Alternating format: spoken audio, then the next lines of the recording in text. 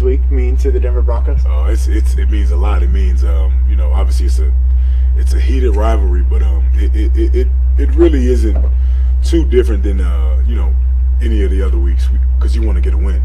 So I feel like uh, you know myself, just personally, I don't like any other NFL team that we be playing, but it's definitely a uh, a, a, a, heightened uh, a heightened sense of dislike for the for the team in black and silver.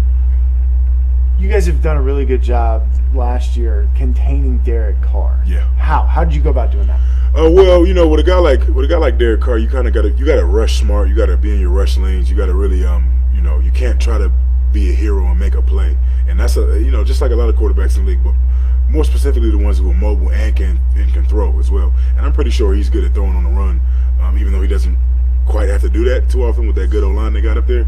But uh, you know, it's just really having your rush lanes, and it doesn't it doesn't hurt having a guy like Von Miller on the edge rushing him either. You mentioned that heightened sense of maybe urgency when you're playing a divisional rival. Yeah. Does that bring that out too? Yeah, it does. I mean, you know, you always want to win the division, and you know, if you if you win, uh, probably getting a um, a home bye if you win your division. But uh, you know, when you when, when you playing the Raiders, it's kind of like it's a lot of tradition between the Broncos and the Raiders, and just the Raiders. Period. If you look at the the tradition in our organization and in, and in their organization, you can see why the the rivalry is so like you know so intense.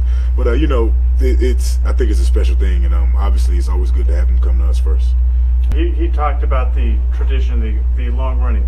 Guys ever talk about that down there? I mean, it used to be just a bloodbath when yeah. they played the Raiders. I mean, yeah. uh, Reggie Rivers wouldn't play for the Raiders. Yeah, he, retired instead of playing for them because like I ain't playing for those guys. Yeah, yeah. I mean, and, and you know, it's you, when you think about you know sports like that from you know way back in the day and the attitude of those guys, you really got to admire it because uh, you know nowadays where you know you got social media, you got you got you know it's, it's, it's, a lot easier to, to get in contact with other players and be friends with other players. A lot of guys train together. I'm pretty sure it wasn't like that back in the day.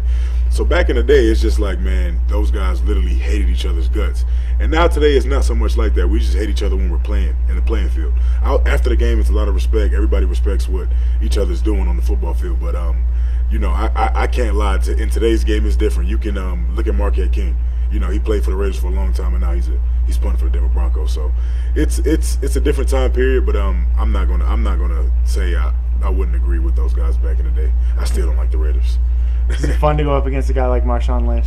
It is, it is, because you know what you're going to get out of him. You know, you know you're going to get a, a running back that that's going to continue to fight for extra yards. He's going to he, he almost makes the game fun. He doesn't really say anything, but um, if you hit him hard enough or if you tackle him, he kind of like chuckle a little bit. It's always fun playing guys like that that you know they really love the game. It's not just about the money for them.